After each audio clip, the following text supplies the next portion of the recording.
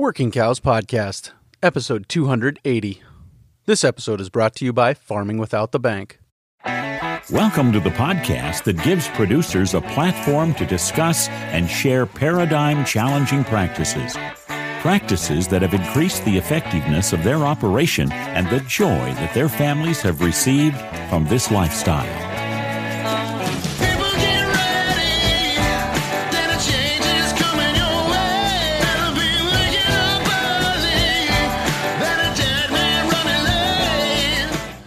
Howdy, everybody. It's Clay Conry, host of the Working Cows Podcast, recorded exclusively in the Sea-90 Ocean Minerals Studios.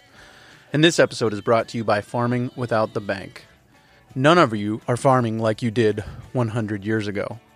Why are you financing it like you did 100 years ago? The biggest part of your operation is the money that runs through your hands, and you let someone else control that. The bank gets the final say in what you get money for and when you pay it back. For many, this is a great relationship until it's not. Farming without the bank shows you how you can take back control of your money so you can make it so you can make the bank plan B instead of plan A. This is done by you creating your own banking system. You own and control. To learn more, tune into the Farming Without the Bank podcast and go to farmingwithoutthebank.com to get the book. Once you've read the book, Mary Jo will meet with you one on one and help you determine where and how to get started.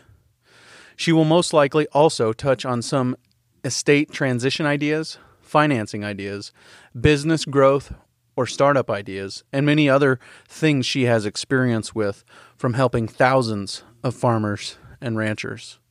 Check out farmingwithoutthebank.com and the Farming Without the Bank podcast today. Very excited to be joined today by John Haskell and Wally Olson. Uh, both of them uh, have been guests before, John more recently, but Wally multiple times.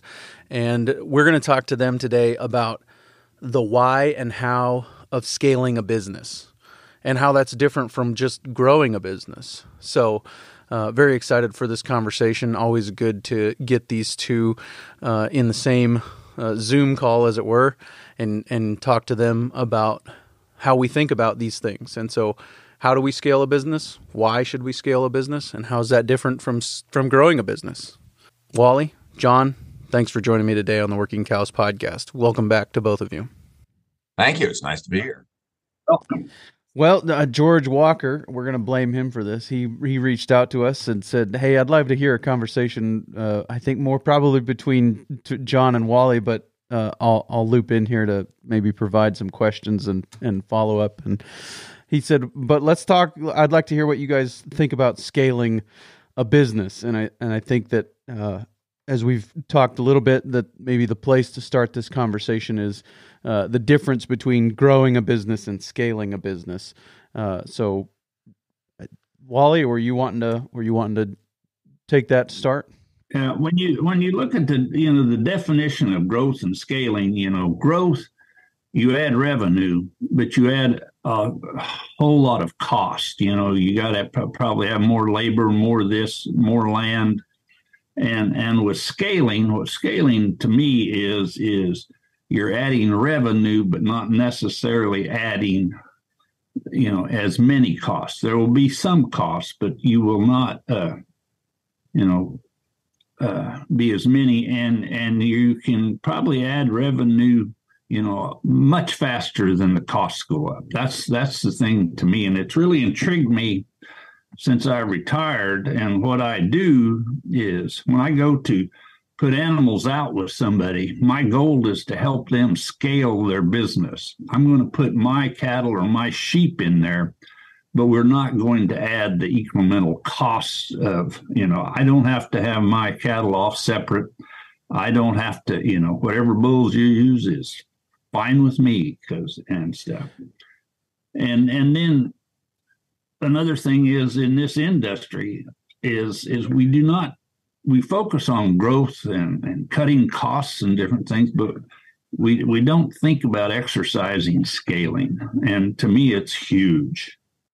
So in this in this industry or in this business in in this lifestyle, whatever you want to call it, uh, a, a lot of times the paradigm is that I make more money by working more hours or working harder, and so it's kind of a a paradigm challenge, I would say, to people to say that you could increase revenue without increasing labor and land, and so could you help me understand how that works? How does that flesh itself out?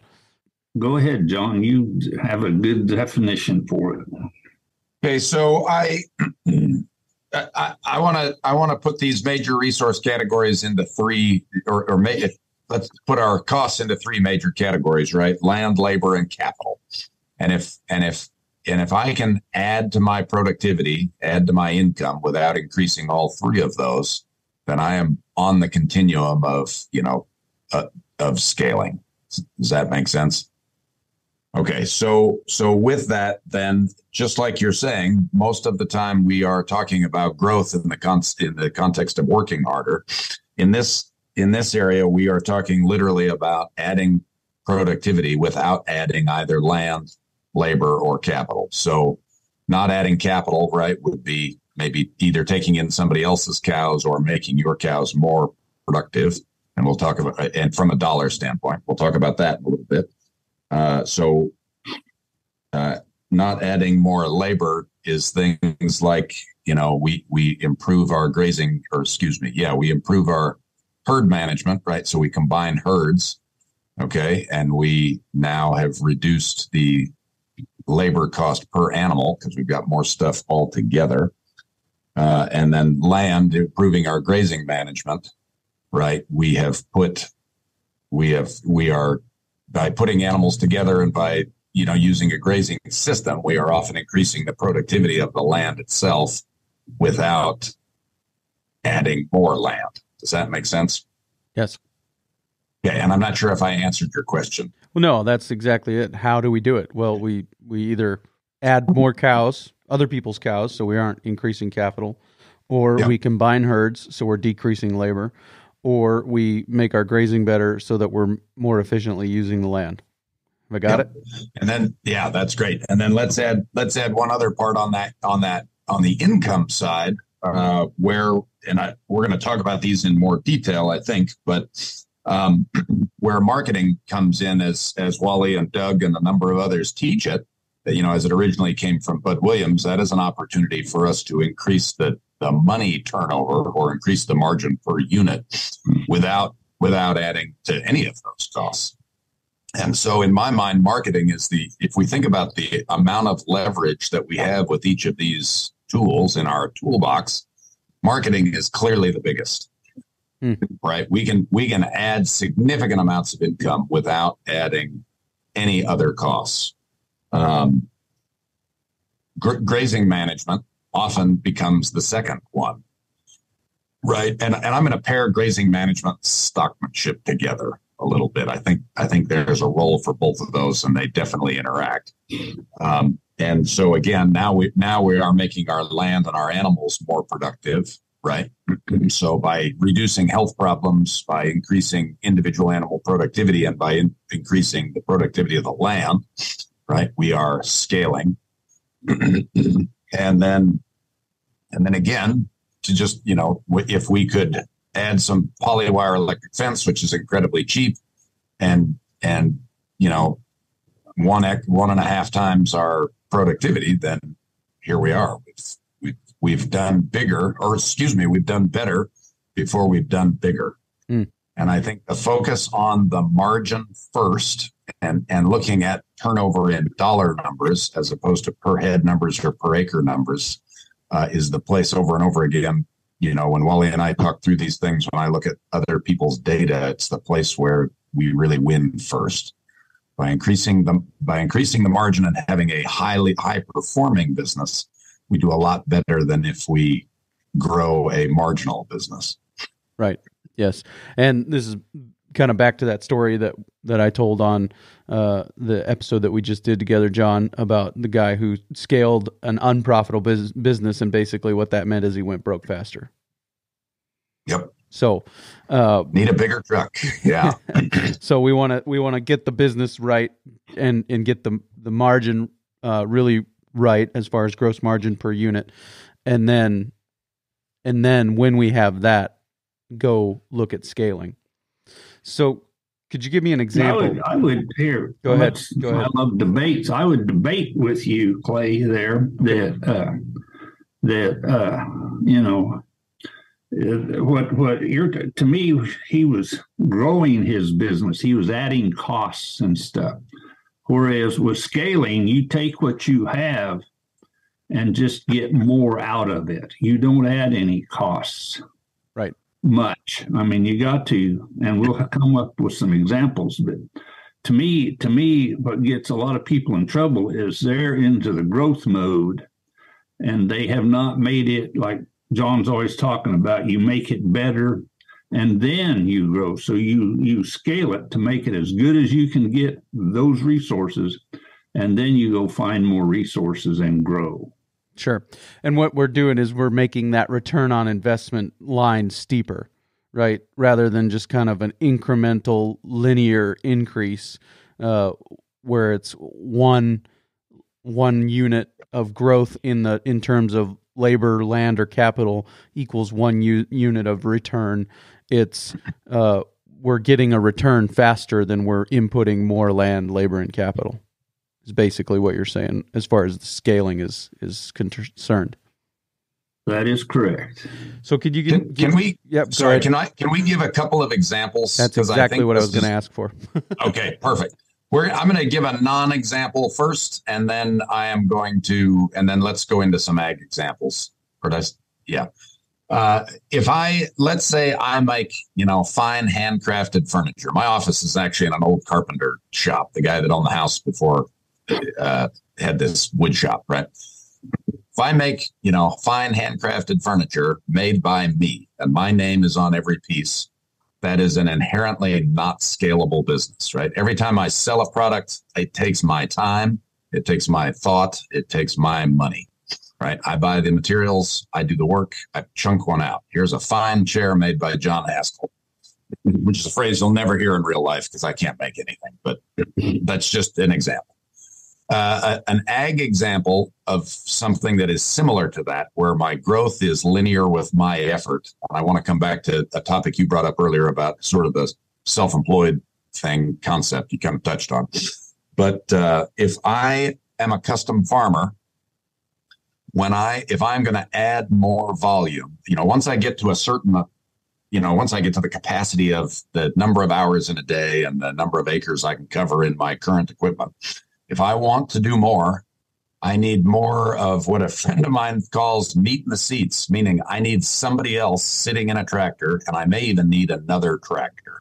So if I'm in a custom farm twice as much, I need more labor and I need more equipment. Okay. And the equipment and capital in this case obviously go right, they go together. Uh, I, I usually need more land also. If I'm a farming enterprise like that, a custom farming enterprise, and many farming enterprises are literally not scalable meaning i can't uh, there's no there's no more leverage right i can go to a bigger tractor and a few things but all of those you know the costs all come with those things we have tried farming bigger a lot and and the margin is very poor and you can make it work if, especially if you have deep pockets but it it doesn't often result that people farm bigger and then get a lot richer beyond beyond some basics, right? Assuming you're at a, a sort of a stepwise, the first step level of capacity. Livestock businesses, on the other hand, are very scalable. So imagine if I produce a movie that uh, it, it, so take a take the example of a producing a play versus producing a movie. If I produce a play and I get my friends together and we act it out and we have an audience, that is not scalable. As soon as I record that on a on a video camera and now I can play it on YouTube, now it is scalable, right? I can increase my audience without uh, adding any additional work. It just, you know, I mean, there's a little bit of work at getting it uploaded on YouTube, right? But it's trivial relative to the size of the production. Livestock businesses, when we see people really in, change their grazing management, change their stockmanship, uh, change their marketing, suddenly we have a business operating at, at a much higher level, right? Uh, generating a lot more profit, right? And the land base is the same, the equipment is the same, the labor is the same, and and the capital's the same. We did a podcast here recently where we talked about growth specifically, and we talked a lot about sell by within a breeding herd. And one of the examples uh, involved a huge increase in income on a pretty small operation. And the best part about all of it was there was no additional debt, no additional land, right? Really, no additional costs. One of the beautiful things about education is that it is, and we can think about leverage or scaling, but if I take a class, so, you know, I go take a marketing class, I can reapply the information I get from that class for the rest of my life. I don't have to, every time I want to think about marketing differently, I don't have to go back to Wally's class and start over again, right? I, Wally's class doesn't apply to a limited number of cows, right? If I take a stockmanship class uh, from Steve Cote, there's not like a 10,000 cal limit where after I've done that, I've got to go back, right? I mean, I, I can do, you know, we took classes from him in the, I don't know, early 2000s and use, use that stuff still, right? So, so those are, those, that idea of leverage, you know, how much leverage do those actions have, I think is important in thinking about the continuum between growth and scaling. So back to your your play example, I think how uh, in in theater in the theater production world, how scaling actually happens is that they train other people to do that play, and those people go out on the road and do it, and they'll train multiple crews to go out and do that same play, and they'll go out and do it in other places. Do you think that that is any in any way related to what you're talking about in scaling, or is that a few steps down the road from you know the first thing is we, we do is we get our, our grazing management right, our stockmanship right, our you know allocation of resources right, and then we look at maybe sending other people out to scale it uh, uh, in that way, or is are those things related in your mind? It's a great question. Wally, you want that one? Well, I think I think uh, you know all the above is correct, and because you know in theory, Clay, that's what I do is, and uh, uh, you know you can you know like we were talking about, you know with scaling, there's there's some costs that come along, and I will give you an example is is this if you if you improve your grazing so you can run more animals you know so so you don't you aren't picking up the uh, overhead costs of of running more animals but you got to go buy the animals so you got there's an incremental cost of buying those animals or keeping other animals or wherever you acquire these there's those costs but you don't have the cost of hiring more people buying more trucks buying and renting more land. So, so there, the, the, you got to understand there's these incremental costs that, yeah, there's going to be more costs if you're getting good at scaling, but your returns on on your investment is going to be tremendous. So, since Wally likes to debate, I'm going to take the contrary position there. I think in the case of your play example, that is not an example of scaling. Or, and again, I'm viewing this as a continuum, right? Growth on one end, scaling on the other, and we're sure. somewhere in the middle. But if I if I have to hire the whole production company, I have to rent the venue, right? I have to sell the tickets. I mean, I I have definitely gained by doing more plays if the margin is good. But the only thing I'm leveraging there is the is the writing of the play, mm. which might be the lowest cost in that whole process. And I don't know anything about play yeah. production, so you can right? Uh, but but again, uh, the the scaling is the video. Yep. Right. Yep. Where I don't, and again, if we think about land, labor, and capital, right, and and capital can sub for some of those, for some of the you know things like equipment, you know, number of cows and things like that. That Wally's talking about. But if we think about those things, if I'm if I'm dropping one of them, I'm better off but if I'm dropping all three, I'm I'm way better off. Yes. Yes. Yep. Yeah. And so the back to the the farming example and, and those things that um, there's just really no way to get away from you have to be there to make this happen.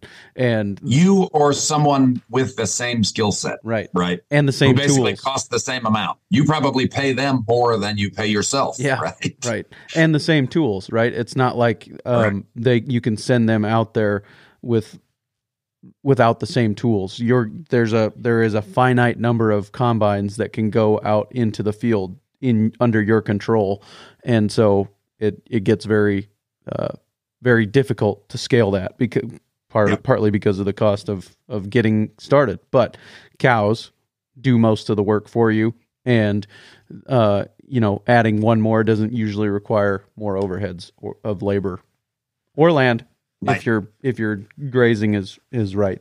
So And and I think that first sentence you just said there was, or the about the cows doing most of the work is one of the keys. The beauty of a livestock enterprise is they bring their labor and they bring their tools. I, think about this with stock dogs, and I used to I used to I used to try to run a bunch of stock dogs, and we had a lot of fun doing it. But one of the things that was fun about a stock dog is if they're bred right, they want to do the job. Right, the way you punish a stock dog is don't let them do the job right? That's about the cruelest thing you can do to a good cow or sheepdog, right?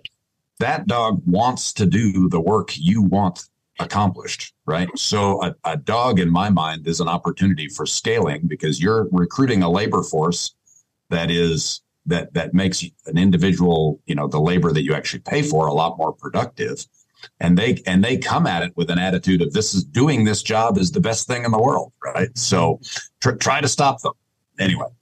Uh, but but that idea that the livestock they bring their own harvesting equipment, right? They have tongues, they have teeth, they have they have a rumen, right? They they have the ability to do the work.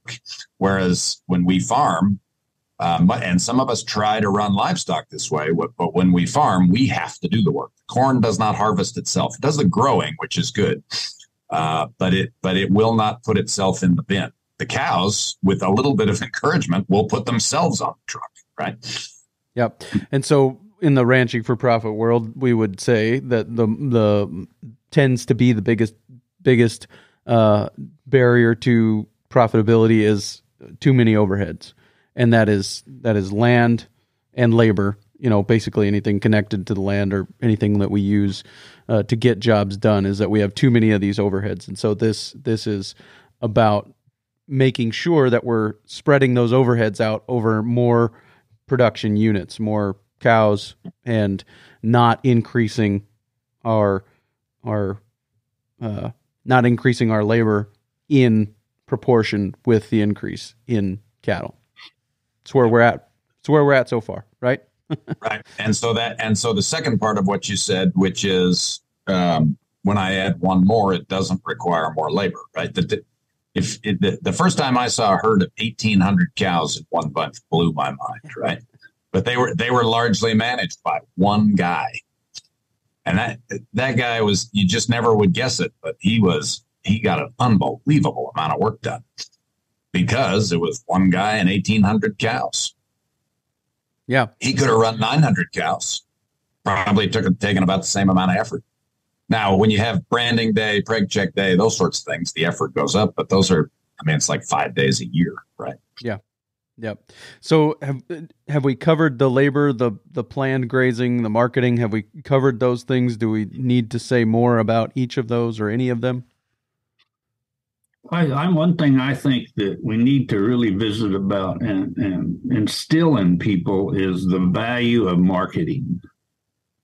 And and I will I, and and the reason I'm very aware of this is is it's very hard to get the people that I put uh, animals out with to really get focused on marketing. You know, that's what I bring to this business is is I'm always hammering on them, you know, on the marketing and uh, uh, you know because uh, just like I have an example of my brother-in-law, you know, he changed over from a conventional cow calf person selling cull cows and stuff to speeding up his turnover and and he increased his sales by by uh, 44%. I mean, he took an average sale of like $800 up to $1,200, you know, and he didn't spend any money to do that. And that is, I think, maybe a not very often thought of way of increasing turnover is selling cull cows sooner or or selling cows sooner. You know, before they become cold right before yes. they're before, before they're depreciated or or or uh, yeah, selling them as whatever age. You know, I don't want to I don't want to pin you down to an age, Wally, because I know you don't like that. But uh, selling them. Uh, selling them sooner in their life cycle than you would have in a conventional model is is one way to increase turnover. Is that an accurate accurate assessment? And another thing, uh, the same thing to me, like if I was in the grass fed beef business, you know, if if you are, you know, a womb to the tomb kind of grass fed beef producer, you know, well, you still don't want to use your steers. To me, what you want to do, if you can do it, is is you breed your heifers, you get a calf out of that heifer, and then uh, you harvest her because that calf and she's pays- open as a three year old. yeah, that calf pays for a lot of your costs. Sure. You you understand what I'm trying to say? And and also, I don't know about the uh, the the tax implications, but uh, you know, I truly believe since you held her to uh, you know for breeding purposes, and then you harvest her, I think you could capital gains that, which is tremendous.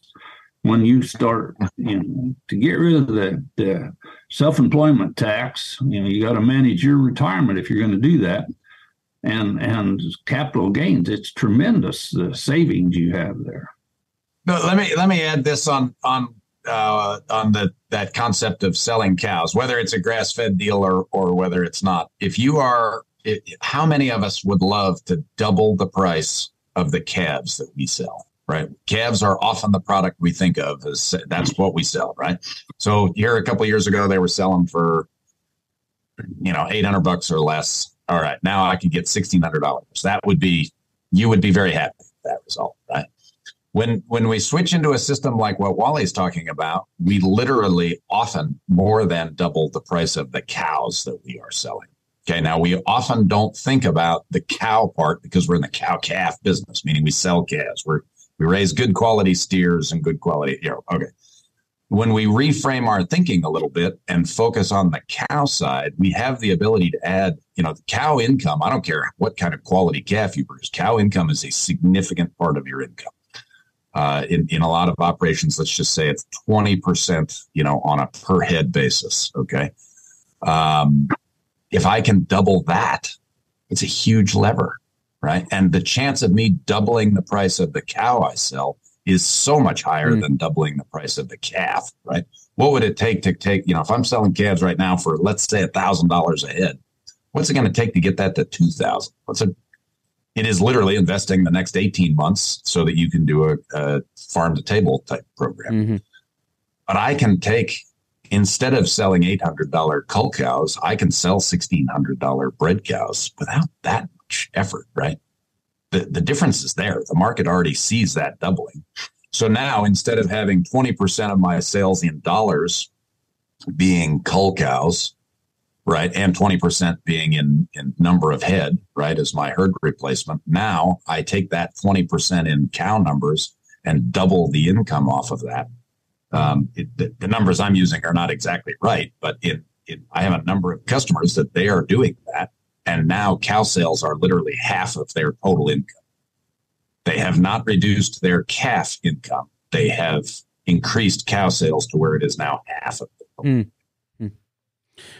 and some of them have probably increased calf sales and still you know they've they've they're running more ahead than they were when they started but there's Yeah, if you can, right, if you can do all of them, then all the better, right?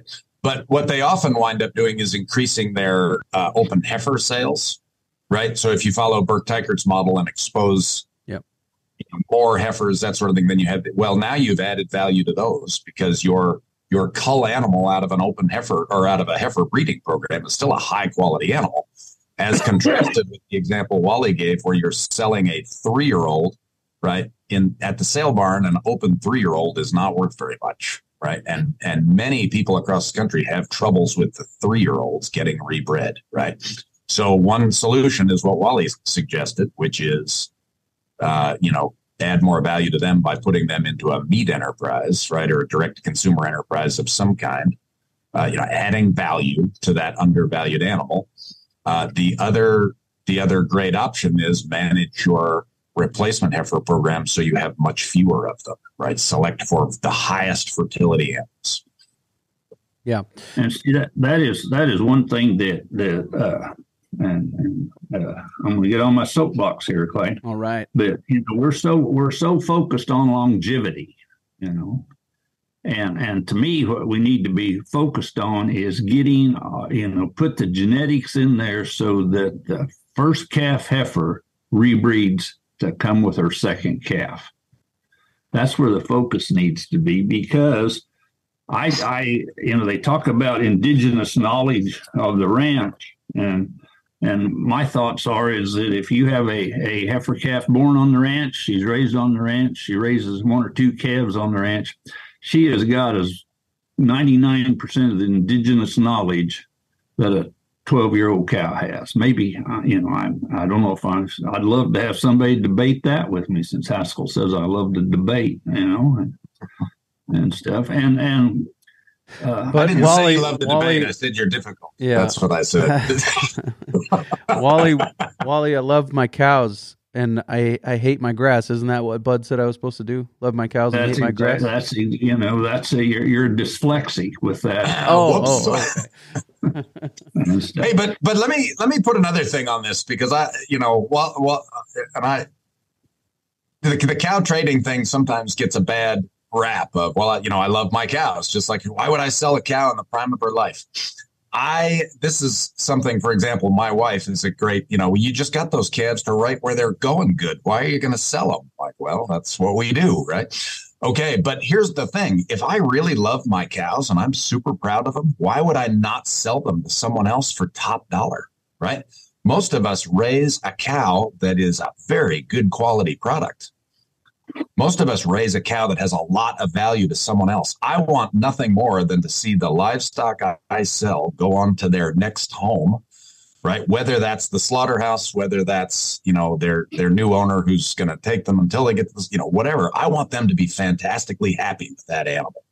And if it's an animal that i am very proud of i am excited to sell it to somebody else. Now i'm not going to sell it at a discount. I'm really proud of it right? I think i think i've done great work here. I think i've got a great product. I, I have no problem asking you know for top dollar for that.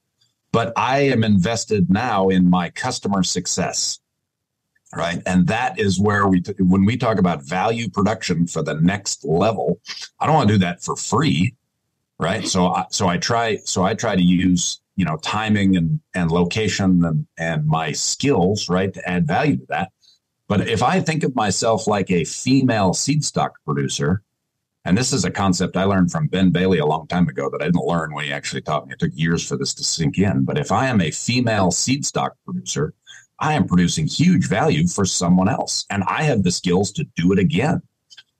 And, and that's that's I think what Wally has brought to the table in a lot of ways is that, um, again, it's not like I'm trading cows because I hate cows. I'm trading cows because I love building a great cow and putting it into someone else's hand and Mm. have it go on with them for the next five or ten years and be very successful.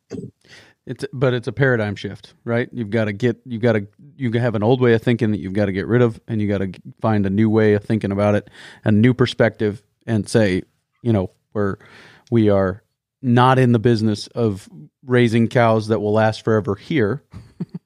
we're in the business of raising cows that can go somewhere else and last forever if they so choose Right. to to adopt that business model. Uh, so Right. so say we've done it. We've scaled a business. We've we've got our grazing right. We've got our labor uh, right. We're getting maximum return for our investment. At some point, uh, on this square of land that I have been entrusted with the care of, the scale becomes limited. Right? There's a there's a ceiling for that scale on this piece of land, and with my labor and with my capital. But if we've got it done right and we've got a high gross margin, we're we're doing very well, and so the capital is growing in in a, a reserve somewhere. What do we do then? Where do we go? How do we how do we take the next step in scaling that business outside of the bounds of our own uh, uh, sphere of influence and control on this piece of land? then to me is is you know you st- go start finding other people where you can replicate this and and one thing uh, let me tell you from experience when you do this there's going to be some glitches in the road so you need to have a very good uh, growing pains because you will have them and uh, uh, you know, just just like uh, we just came through. Uh, uh, I'm I, I'm a cover crop grazer now, and where I graze these cover crops, we had a set of steers that had a 12 percent death loss. You know, and and you know, my God, you know. But the thing is, is we had it managed right, and they still made a 23 percent return on your money in nine months. So you know, that's uh, you know, I uh, you have to, you know, you have, you know, it would have been nice if we'd only had a one percent death loss. It would have really been a good deal. But this is still a good deal, you know, and and so you need to, you know, you you need to understand that you, you know, well, here's one thing that that uh, you know in, in ranching for profit and if anybody's listening to this and they haven't been to ranching for profit school here comes a dallas mount ad real quick. Go because it's a great thing you can do. Go to a ranching for profit school before you come to a marketing school so you know what to do with all the money that i'm going to make you. That's just deep but now they use they use a uh, you know a 10% opportunity costs and if you start doing that you're going to make 10% opportunity costs. What you need to do is ramp that opportunity cost up to 25% or whatever. And then if you can't find something to work, understand to back down. This is one of the greatest things that I learned from Bud Williams is to, you know, you put pressure on and you and but then you got to back off. Well, if you can't make 25, go to 22. If you can't make 22, go to 18. You're still a lot better off than the 10% but you've got to that's one thing most people can't do is concede and back down Mm. and and you need to be able to do that Well, you have no room to concede and back down if you're at 10%. that's correct You have to start higher if you want to leave yourself room to concede and back down, right? yep So I think what we're doing here is we're talking about this self-employed uh, to business owner transition, right? We've gone from self-employed where we had a, a really good gross margin with a uh, with a business that had good grazing, uh, good land management, good labor, good capital management, all that, and now we're we're making that shift up to a business owner where we're taking that and we're replicating it with somebody else, right? Is that's the trans- Correct. transition we made in the last three minutes of this episode? Right. Okay. So so here, what becomes important is is this. There's some passing of the torch, and the word for that is delegation. And I want to draw a distinct distinction between delegation and abdication. Right. abdication. I just hand somebody a wad of mess and say, "You fix it." Thankfully, I work with them. You know, some of our employees are wonderful at covering my problems because you know they they just fix it. That's great, but that's not how you really want to grow a business. Delegation involves a couple of important things and and uh, there are some people that speak really well about this. I actually love the way dave ramsey talks about delegation. Uh, he talks about first of all building trust. And i think in that in that trust is is training okay? Uh, training and then again we go back to this walk before you run. So i give you a little piece and then and then you do it well, I give you a little more, right? This is the, the parable of the steward written all over again. Uh, delegation is, is two main things in my mind. There's process and there is culture. Uh, when I look through a business, I and I think all of us can do this. We can look through our own business and see what are the jobs I don't have to do. So we often, it's interesting to me because I often hear relatively novice business owners say, "Well, I need a I need a manager, right, who can do everything I can do," and you know and, and i think that's an incredibly flawed place to start because that's running before you walk. There's probably a few things that i can hand to somebody else that they can do as well and often better than i can okay? So let's just take in a in a in a business like yours clay in the in the preaching business right? The first thing you're not going to ask your new apprentice to do is write a sermon and give it i'm going to be in hawaii right? That would be abdication you are going to maybe ask them, would you do a little research? I've got a portion of my talk that is going to center around this topic. I would like you to find me some scripture that, you know, supports or refutes what I'm. Th- does that make sense? Yeah. So, you know, in in my current business, one of the things that I have been slow to delegate and at my own peril is literally answering the phone, right? That's something that someone else could do, right? It's I'm not going to say it's low skill, but it, it's just there are lots of people that are good at answering the phone. Um, anytime we can identify very small chunks of our business that are easy to sort of create a process around and easy to train someone in, that that makes us more effective, right? So in theory, if someone's taking a so trucking is a good example. Most of us don't own trucks and haul all of our own livestock, right? We've delegated that to someone else. And, and that's something that there are lots of people that are willing to do it. Yes, we have to pay for it. Uh, and we can go through the math of that, you know, whether it's better to own it or to have somebody else do it. Uh, but it's the same basic concept. I don't have to do all of the parts. And as soon as you identify that, you know, and, and embrace that idea, now that allows you to grow a lot more. Once you've scaled it, right, you've already done the better. Now, now we put our foot on the accelerator and do bigger. Um, and then the other part of that, so delegation involves, you know, in my mind, creating a process, right? What do I want the outcome to be, and what are the steps that are required to get there? And and having all of those very clearly identified is important, right? We talk about that often in terms of like a uh, drawing a blank on what the term ranching for profit uses, but like your key performance areas for an employee, right? What are the Oh. yeah, that uh, also there, but there's another in our in our job Effectiveness description. areas. Effectiveness areas. That's it. Thank you. So I, you know, clearly identifying those, and with it with someone new, identifying how you get to those. Right. So I don't take a novice and just give them the end result. I hold their hand for a while to help, them get there, and then they can modify it after they become skilled. The other huge part is culture, and I think this is one that Wally does a really good job of focusing on. Uh, and culture, in my mind, is the stuff that covers what happens when the process either doesn't quite work right or when you encounter an unexpected hiccup. Okay, culture is the is the unifying mental framework, right? That tells us what to do when the answer isn't clear, right? Helps us make decisions. Culture has a lot to do with vision and mission, right? We have to back all the way up to why, sometimes, why are we doing this? And sometimes that helps us answer the questions of the unexpected that arise. Okay. But, but when we build culture in an organization, we are developing a, a shared intellectual capital, if you will, that allows us to make good decisions. So, uh, just take my wife and I as two people that, in theory, agree on raising our children. That doesn't mean we do exactly the same thing. And there are t- we just had a discussion last night, literally before bed, about hey, this didn't, you know, we were kind of on different tracks here. What was going on? And by having that discussion last night, not only are we able to sort of understand what the other person is thinking, but also identify some places where maybe we hadn't communicated quite fully about what the goals and were and what maybe the specifics of the situation were.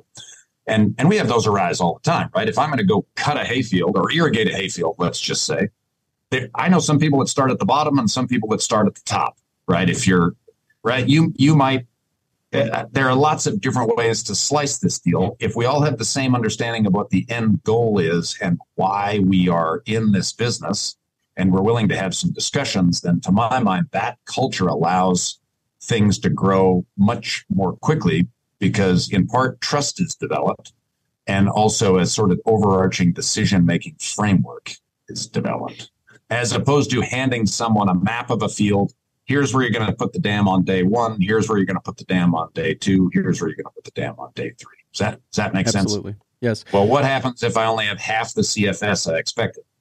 Well, on the first plan, you just do it what based on the plan. The second situation, I want, ooh, I've only got half the CFS, so it's probably going to take me, you know, one and a half times as long or two two and a half times as long to get that acreage covered. Yeah. So a couple of things on that. Uh, um, first of all, there's a book called, that I bought but never read. But, but the video I think communicated the point of the book. So did I really need to watch it? Or did I need to spend the time reading it? It's called Killing Cockroaches, and it's by a guy named yeah, Tony great, Morgan. Great, great. and he says in the video, he says basically the bottom line is that as a business owner, you do what only you can do, right? John shouldn't be answering the phone. Somebody else can do that, right? Uh, he he tells a story about he was in his office doing some high value work, and somebody came knocking on his door, said there's a cockroach in the lunchroom, and he had to go kill it. He's like, well, somebody else could have killed the cockroach. I shouldn't be doing that. I should find somebody else to do that. So that's the first thing. Second, and then what I where I want to go after this is hearing Wally talk about culture, if we can, for a second. But the the apprenticeship uh, paradigm, the apprenticeship continuum, is this: I do, you watch. I do, you help. You do, I help. You do, I watch. That's the apprenticeship paradigm or the apprenticeship continuum. And we oftentimes start with uh, you do, and like you said, I abdicate, I go away, I don't even watch. And ultimately, ultimately, come back later with harsh judgments. right, right. Tell you you did it all wrong. ultimately ultimately if you send somebody out with a you put the the tarp here for the irrigation example that you gave if you always send them out you've never gotten past you do i help or or i do you help basically because i'm the one coming up with the plan you know Yep. you've never gotten past giving them the ability to make a decision on their own you're still making all the decisions you really it- back to our conversation at that point all you've done is grown your business you haven't scaled it right would you agree with that Good question. I didn't think about that.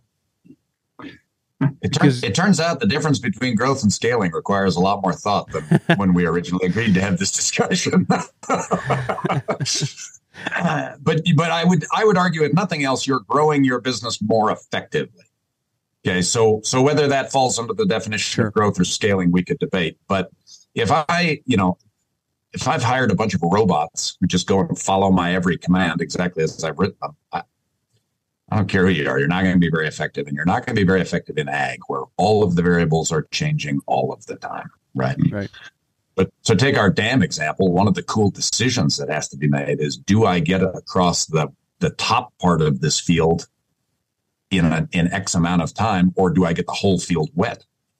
Right? Because again, when you change the CFS coming down the ditch, you're either going to get acreage out away from your dam, or you're going to get acreage along your ditch. Which which one are you going to choose? And mm-hmm. teaching people how to make that decision, and and just like you're saying, supporting them in the early stages of doing that, but training them how to make that judgment, I think is that is a high leverage event, right?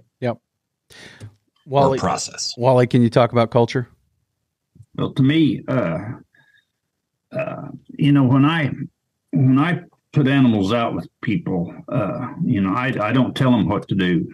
I go look at their operations. If it's compatible with my beliefs and philosophies, I'll put animals out with you. And and uh, you know, my my deal is is the reason I own these animals is to make profit, and that's what I want. I don't care whether they're Angus or you know i don't it and you know and and so i'm interested in in what what they are willing to do and and uh uh and changing uh over is uh different philosophies i mean we are into uh we're into technology you know technology and, and I mean, spend especially in grow yards. You know, putting calves in grow yards. Oh my God, we can spend money now. And and needless to say, I do not have any cattle in a grow yard at this time, and it will probably be a long time before I do. I'll probably go buy some tomorrow and put them in a grow yard. So you know, I'm the biggest hypocrite that ever walked the face of the earth. But, uh, you know it's it's you got to you know the culture is is you know this is uh you know and and boy i tell you what i don't try to change people you know and stuff very much. And uh and uh, i'm finding you know i'm finding people matter of fact i'm going you know i'm getting ready to move to the next level and be an investor i have found some people that i truly believe can manage a business a lot better than i do you Mm. know and so I'm willing to try that just to learn. You know, that's the one thing I learned from Bud Williams. Man, I love trying new stuff just to learn. And uh, my wife says, You maybe know enough right now. No, why don't you stop this learning? Because learning usually has tuition, and it does. Yeah, and and the the what you learned at Wally Olson's marketing school and what you learned at Ranching for Profit is the cheapest tuition you'll ever pay when it comes to learning. Because sometimes learning from your mistakes is pretty expensive. Oh, man. Yes. So, and we touched on this a little bit because I think, uh, as you, as Wally was talking about, um, you know, the the beginning process of starting something new, right? There, let's let's make sure we think about risk management. Risk management has a, a couple of big components. The biggest one is walk before you run, right? Dollar cost average, or figure out some way of going in so that you stage that in pieces because there will be tuition, and you'd like to keep that tuition contained. How does that sound? Like you say, the school, you know, thousand, couple thousand bucks for a school, cheap. One great, a couple of great truckloads of mycoplasma calves makes ranching for profit or Bud Williams stockmanship or any of those look really cheap. Um, the the other risk management tools in my in my mind that are very important are are margin, right? So having a big profit margin to start, so that if things go wrong, it's like eh, okay, you still got some padding. And then the other is retained earnings. And, and the opposite of retained earnings is debt, right? So being heavily leveraged in any of these situations really ties your hands and, and can tie your hands in dangerous ways. Uh, our, our most profitable customers are growing by, you know, by generating a lot of margin in their business and then recycling it into the business. That's where the compound growth happens. Yeah, that And if it goes bad, there's an easy place to back up to. Go ahead, Wally. I'm sorry. And and one thing, and I'm I'm very blessed that I have a, a gentleman that I work with uh, that we we run undivided interests in cattle. We're not partners in any way. We got a document that says we are not partners in any way. We run undivided interests. And and him and I are are game to put basically we'll put a, a load of cattle out with I mean within reason with about anybody but but what we're doing is one load of cattle you can work if there something goes wrong you can work your way out of. And by him and i being in this joint venture we we've cut our risk by 50% and uh, you know you've got to look at dilution you know and uh, and that's you know I, and i'm i guess you know, the only book that Bud Williams ever gave me the, the, to read was The Art of Contrary Thinking. And, and, you know, most people in agriculture, especially ranching, are rugged individualists, you know, and I'm just the complete opposite. I love to partner, I love to work with other people. I mean, just because the network that I have developed, you know, just like I can't find any grass in Oklahoma you know, to run cows on. I want to own cows because I really believe that we are, as they say in Oklahoma, we're fixing to have a real run up in the value of cows. You know, but I have found grass in West Virginia. And, and since I had a network of people, you know, I can do that. And and you know, rather than be stuck on this one piece of, of property, you know, I, I can go just anywhere, you know. And yep. So how do we know? it takes it takes a skill set to to you know you've got to learn how to do that. It's just like anything any other business. You got to learn, you know, and and if your gut tells you don't do something, by golly, I have proven many times over, don't do it. Hmm. Yeah. So how do you know when it's time to make that transition from self-employed to business owner? And then we've kind of touched on the business owner to investor. I'm I'm kind of surprised, Wally, to hear you say that you're just now thinking about that transition. I would have put you in the investor category already. But so how do how do you know when it's time to make that transition? Well, to me, one thing is is is is my time. You know, I'm 71 years old, and uh, and like a neighbor said, you know, I'm getting everything done, but I'm letting a lot of things go, and uh, that's where I am. I've got a set of cows that I don't think I.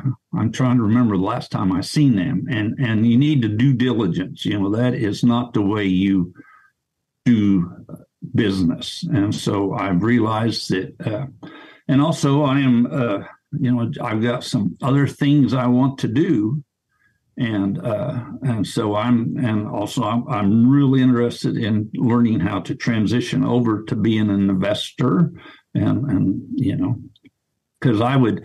You know, I've got money in the stock market out with money managers, and, and I can see I can so I'm looking for my money managers in agriculture. That's uh, that's what I'm I'm looking for. I understand there's a lot more risk, but there's also a lot more opportunity, and you can manage the risk. So basically, the problem with it with what I was talking about, where I said I would have put you in the investor category, is my misunderstanding of what an investor is, right? Because ultimately, you're still a business owner at this point, where you're finding places to put cattle out with people and, and those kinds of things. That's that's a business owner. That's what a business owner does, rather than Yes. what an investor does. And and basically, uh, you know, where where it comes down to, where I look at the difference between a business owner and an investor is who calls the shots. You understand what I'm saying? You know, I'm, you know, I here here here is, you know, a set of cows. But, uh, you know, we're going to sell the calves now. You know, we're going to sell those cows at five years old. You know, we're going to do this. Uh, my deal is is is okay. Here is here is a hundred thousand dollars, and I want fifteen thousand back. When or I mean, On top of it. understand what I'm trying to say? Yes, yes. Uh, I want fifteen on top of the hundred thousand I gave you back at this point, sometime in the future. and Yep. and I will I will gladly you know visit visit with them and and and I don't even talk about consulting with them. I'm, I will visit with them about options, but it's their decision to make. Sure. And, uh, And, and this may be something that is a little bit of a continuum, also, Clay. Uh, You know, again, I, I love Kiyosaki's quadrants, you know, and it's nice to think about those as exactly the way they are, but, but there is some gradation from one. And I think what Wally's describing in his investing is maybe becoming more passive Sure. Yep. right so Gotcha. so if you s- if you say i am going to own cows and put them other places you know you're sort of in that gray area between the two right whereas i am going to hand you a stack of money and here's what i expect in return that's a different it's a different phase right that's clearly a different phase Right. right Right.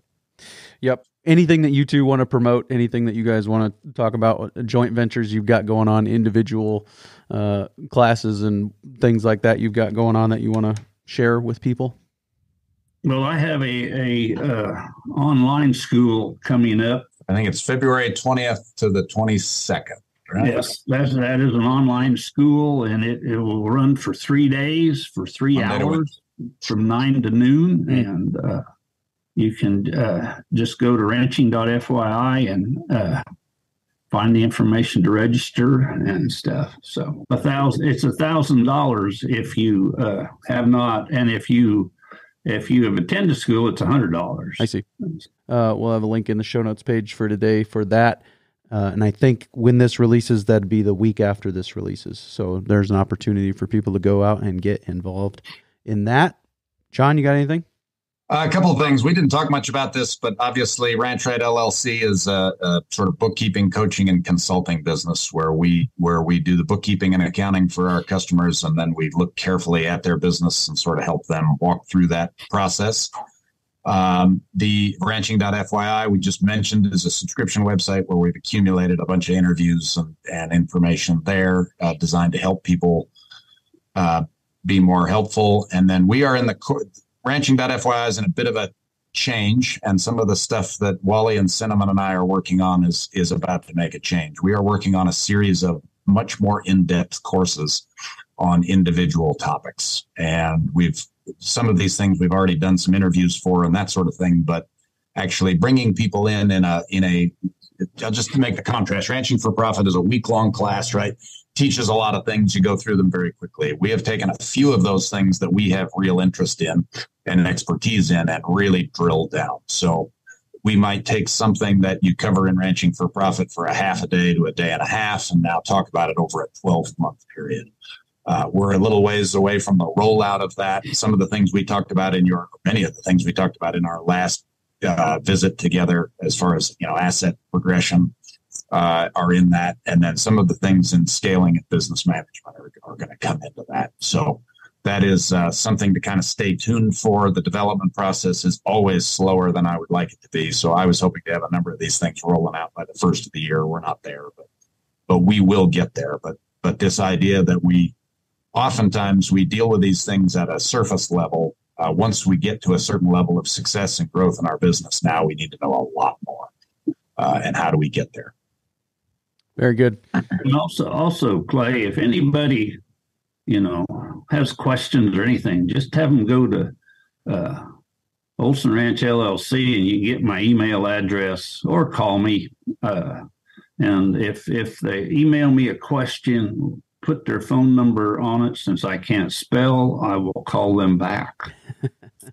I'm I'm more than happy to you know help somebody out because a lot of people helped me out a lot in my life. So. Very good. Wally, John, thank you guys for your time today.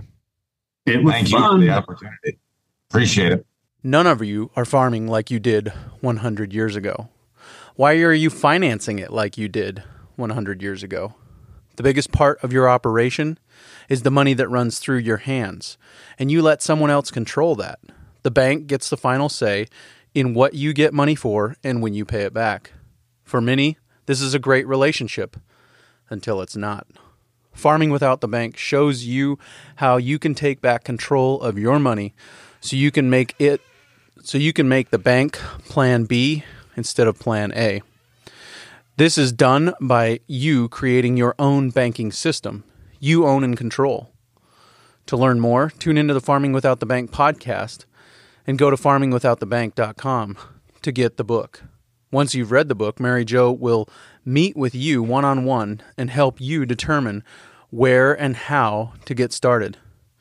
She will most likely also touch on some estate transition ideas, financing ideas, business growth or startup ideas, and many other things she has experience with from helping thousands of farmers and ranchers.